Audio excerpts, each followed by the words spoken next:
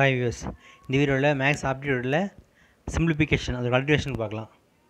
இப்போது first formulas பார்த்தோம்னா அதுக்கு ப்ராப்ளம் பார்க்கலாம். மெயின் இது ஃபார்முலா தான்.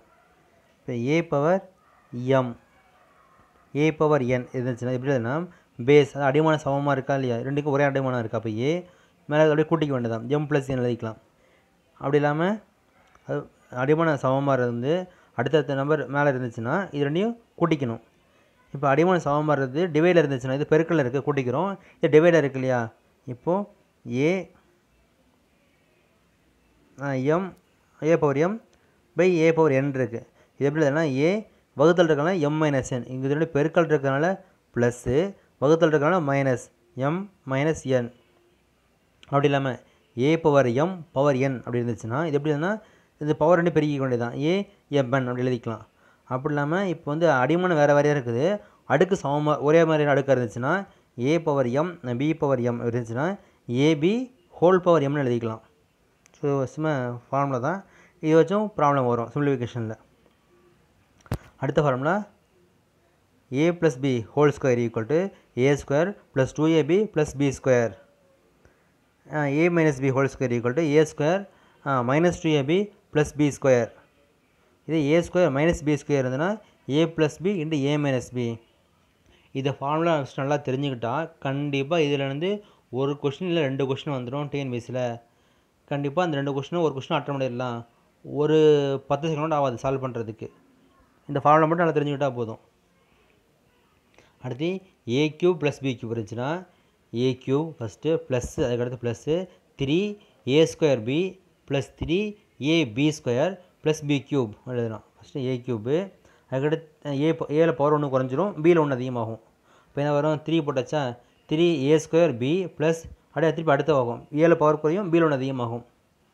த்ரீ ஏ பி ஸ்கொயர் அதுக்கடுத்து ஏழு ஒன்று குறைஞ்சா என்ன வரும்? ஜீரோ வரும்ல ஒன்றாயிடும் பி பவர் ஒன்று அதிகமாகும். அப்போது பி க்யூப் இந்த ஃபார்முலா இப்போ A cube plus three A square B plus three AB square plus B cube எல்லாத்துலையும் என்ன இருக்குது இந்த இன்னும் வேறு எப்படி எழுதலாம்னா A cube plus B cube இந்த ரெண்டுலேயுமே வந்து த்ரீ ஏபி காமனாக இருக்கு இல்லையா? அப்போ three AB into A plus பின்னு எழுதலாம்.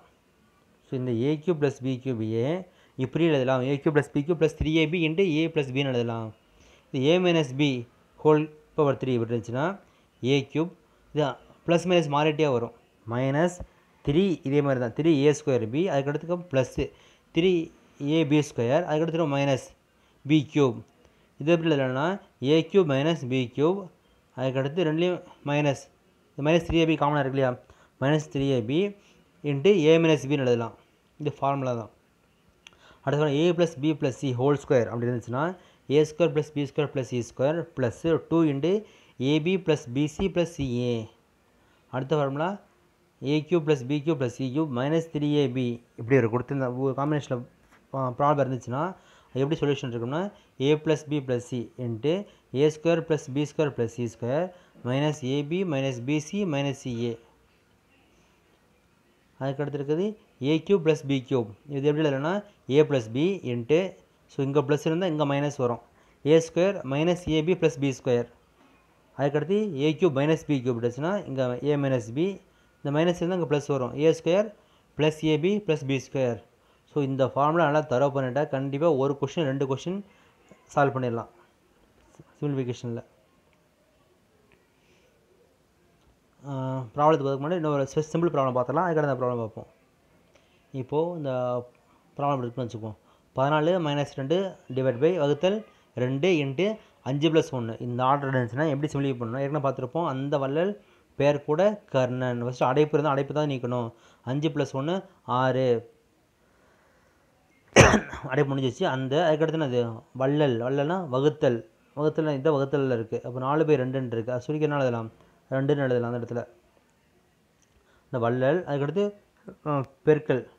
ரெண்டு இண்டு ரெண்டு ரெண்டு இண்டு ஆறு பதினாறு பன்னெண்டு. ரெண்டு இண்டு ஆறு பன்னெண்டு. இருபது பன்னெண்டு. அதுக்கடுத்து கழித்தல். பதினாலு மைனஸ் பன்னெண்டு ஈக்குவல் டு ரெண்டு. ஸோ இதை பொறிச்சு வச்சிருப்போம் எழுதணும். அந்த வள்ளல் பெயர் கூட கர்ணன். அந்தன்னா அடைப்பு வகுத்தல் பெருக்கல் கூட்டல் கழித்தல்.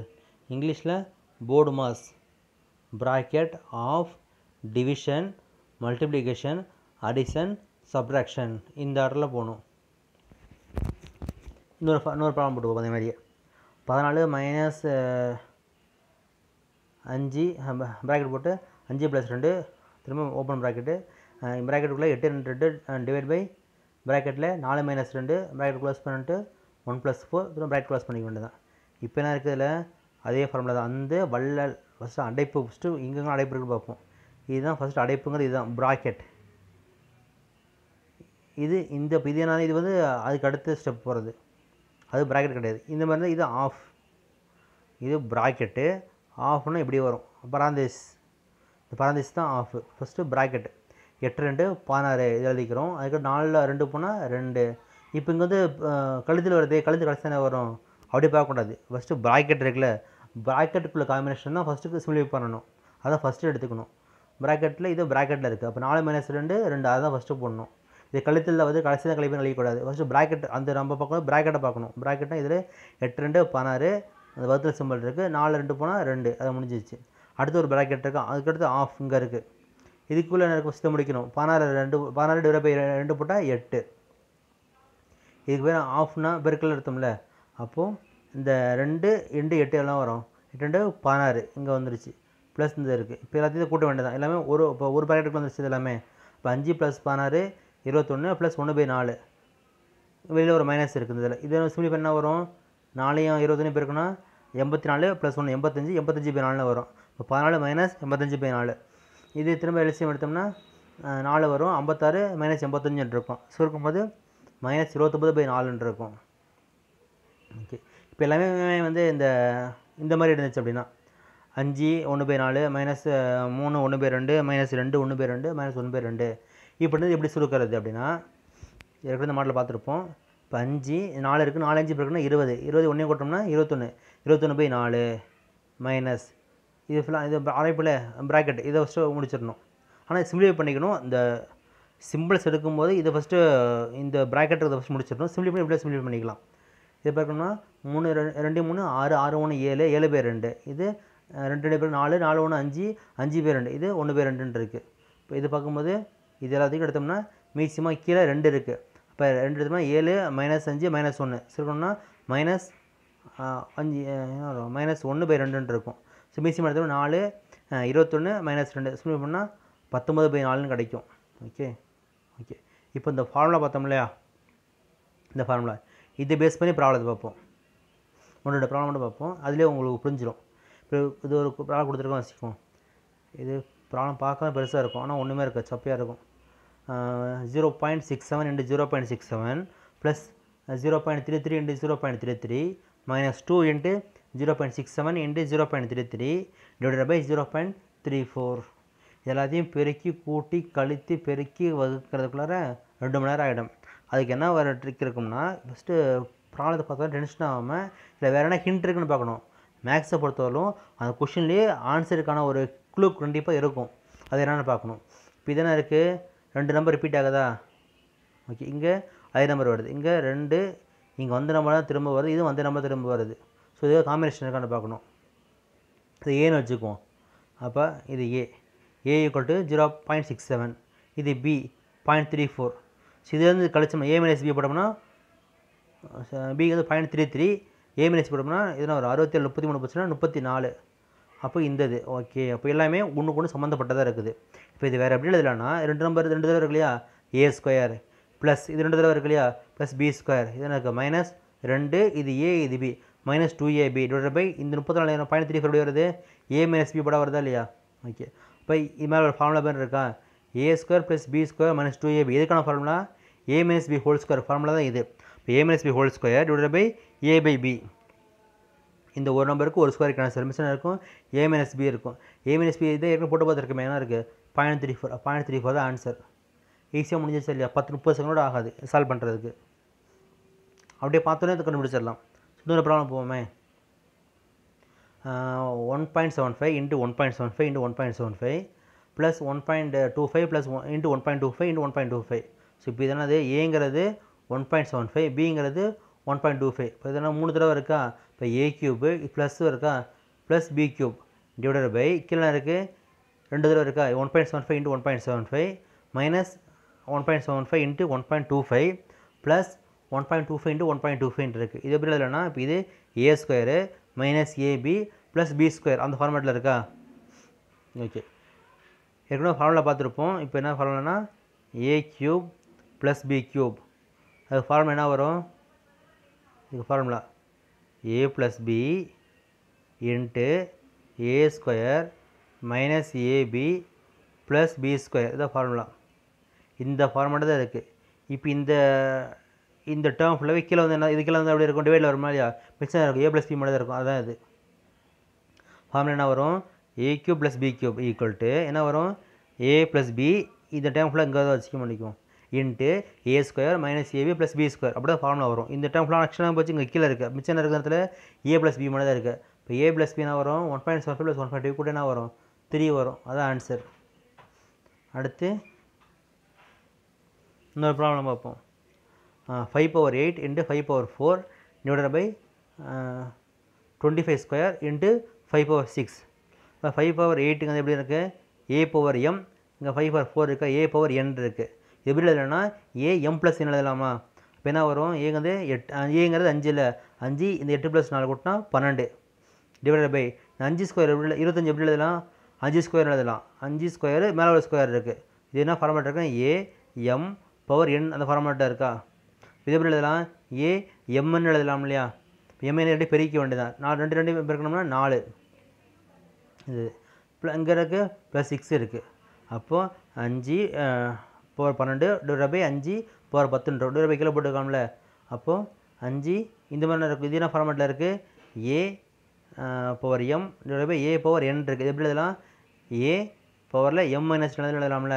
இப்போ ஏ பவரில் பன்னெண்டு மைனஸ் பத்து போட்டு என்ன வரும்? ரெண்டு வரும். அஞ்சு ஸ்கொயர் இருபத்தஞ்சி. அதான் ஆன்சர் ஸோ இவ்வளோ பெருசு ஃபுல்லாக பெருக்கி போடாமல் ஈஸியாக போட்டுடலாம் அதே மாதிரி. ஓகே இப்போ அதுக்கடுத்து ஒரு பார்ப்போம். இதுலேருந்து ஒரு கொஸ்டின் அதுக்கான வாய்ப்பு இருக்குது இப்போ பார்க்க ஃபார்மல் இருந்து. இது அதே மாதிரி தான். ரொம்ப பெருசாக யோசிச்சிருப்போம். ஆனால் ஒன்றுமே வந்து இருக்காது. இப்போது ஃபஸ்ட்டு ஃபார்முலா பார்த்துடலாம். இது சிம்பிளிஃபிகேஷனில் தான் வரும். One sorry X plus one by X equal to A இன்னொன்று இப்படி இருந்துச்சுன்னா X square plus one by X ஸ்கொயர்னு கேட்பாங்க. உதாரணம் அப்படி பார்ப்பேன் இப்படி இருக்குல்ல?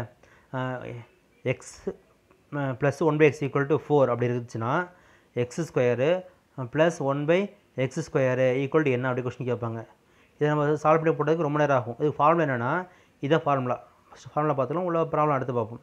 X plus one by X equal to ஏன்னுச்சுன்னா இருந்துச்சுன்னா அது X square plus one by X square கேட்டாங்கன்னா ஃபார்முலானா ஏ ஸ்கொயர் மைனஸ் டூ அதான் ஃபார்முலா அதே X cube plus one by X cube கேட்டாங்கன்னா A cube minus three A இதான் formula X power four plus one by X power four கேட்டாங்கன்னா இது கொடுத்துட்டு இது கேட்டாங்கன்னா கேட்டாங்கன்னா A power four minus four A square plus four இதுதான் formula X power five plus one by X power five equal to A power five minus five A power three plus five A இதான் formula இதே plus இல்லாமல் இந்த இடத்துல minus இருந்துச்சுன்னா இது minus இதுக்கு formula எங்கெங்கெல்லாம் மைனஸில் வருதோ அதில் ஃபுல்லாக ப்ளஸ் வந்துடும் அவ்வளோதான் இப்போ X square minus one by X ஸ்கொயர்னு இருக்குது என்னது? ஏ ஸ்கொயர் ப்ளஸ் டூ இப்போ வெறும் நம்பர் மட்டும் இருக்குது இல்லையா?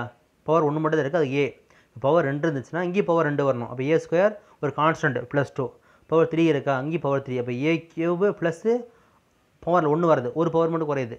ஆட் நம்பர் மட்டும் வரும். ஏ கியூபு ப்ளஸ் த்ரீ இங்கே மைனஸ் த்ரீ இங்கே ப்ளஸ் த்ரீ இந்த பவர் ஃபோர் இருந்துச்சுன்னா x power four minus one by x power four இருந்துச்சுன்னா ஏ பவர் ஃபோர் ப்ளஸ்ஸு இங்கேயும் ஃபோர் இல்லையா? பவர் ஃபோரில் அங்கே ஃபோர் வரும் பவர் த்ரீனா பவர் த்ரீங்கிற மாதிரி power ஃபோர்னா power four A power four அதுக்கடுத்து நான் வரும்? ஏ ஸ்கொயர் அப்போ நான் வரும்? ஏ பவர் ஜீரோவில் ஒன்றாயிரும்ல அதுக்கடுத்து ப்ளஸ் ஃபோர் மட்டும் தான் இருக்கும். ஃபைவ் பார்க்கும்போது A power five plus five A power three plus five A so இதான் ஃபார்முலா ப்ராப்ளம் பார்ப்போம். இதோட இது முடியுது. X plus one by X equal to four இப்படி இருந்துச்சுன்னா X square plus one by X square equal என்னென்னு கேட்பாங்க. அப்படி கேட்டாங்கன்னா அது ஃபுல்லாக சா சால்வ் பண்ணி போடாமல் பெருக்கி போடாமல் டேட்டாக ஃபார்முலா எடுத்து போட்டுப்போம். ஃபார்முலா என்ன பார்த்துருப்போம்? X square plus one by X square ஃபார்முலானா A square minus two தான் ஃபார்முலா இப்போ ஏ ஸ்கொயருக்கு அது இதுதான் ஏங்கிறது இதுதான் ஏ நாலு தான் ஏ ஏ ஸ்கொயருங்கிறது நாலு ஸ்கொயரு மைனஸ் டூ நானுங்க ஏ ஸ்கொயர் பதினாறில் பதினாறு மைனஸ் ரெண்டு போட்டால் பதினாலு. அவ்வளோதான் ஆன்சர் சப்போஸ் இப்படி கொடுக்காம x plus one by x equal to four அப்படி கொடுத்து x cube plus one by x cube equal to என்னென்னு கொஸ்டின் கேட்டிருந்தாங்கன்னா அதுக்கான formula a cube minus three ஏதான் ஃபார்முலா ஏ கியூபுக்கானது நாலு. மைனஸ் த்ரீ ஏக்கு நாலு. ஏ கியூப்னா நாலு. அப்போ நானாங்க பதினாறு பதினாறுனாங்க அறுபத்தி நாலு முன்னாங்க பன்னெண்டு.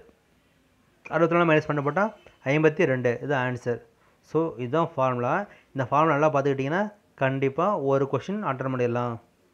ஃபார்முலாவை நல்லா புரிஞ்சு பண்ணிங்க மனப்பாடம் பண்ணாதீங்க. இதை புரிஞ்சு பார்க்குற மாதிரி தான் இருக்கும். ஸோ பவர் கொஞ்சம் கொஞ்சமாக குறைஞ்சிட்டு வரணும். அங்கே அஞ்சு நான் அஞ்சு வரும் நாலு நாள் நாலு வரும் மூணு நாள் மூணு வரும் ரெண்டு தான் ரெண்டு வரும். அந்த மாதிரி பார்த்துங்க. பவர் வந்து இது ஏவா இங்கே ரெண்டு அதுக்கடுத்து ஜீரோ இங்கே ஒத்தப்படையே வரும். A cube a a power four a square zero a power five a cube a one அப்படி வரும். ஓகே சிம்பிளிஃபிகேஷன் இவ்வளோ தான் மீதி வந்து அடுத்த பாட்டில் பார்ப்போம். தேங்க்யூ